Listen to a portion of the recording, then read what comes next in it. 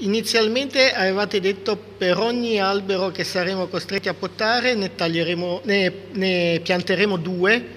Volevo chiedere se prosegue questo programma.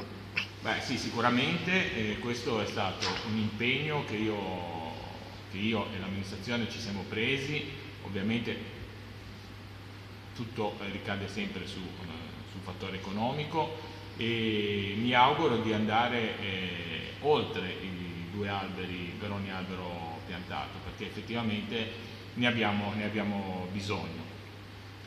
L'ultimo, evento meteorologico che abbiamo avuto eh, purtroppo ci ha fatto già solo tagliare 40 alberi nel campo, nel campo sportivo di Borghetto Santo Spirito, quindi siamo, siamo già in pari e sicuramente nei prossimi anni cercheremo di mantenere questa promessa e se possibile andare anche oltre.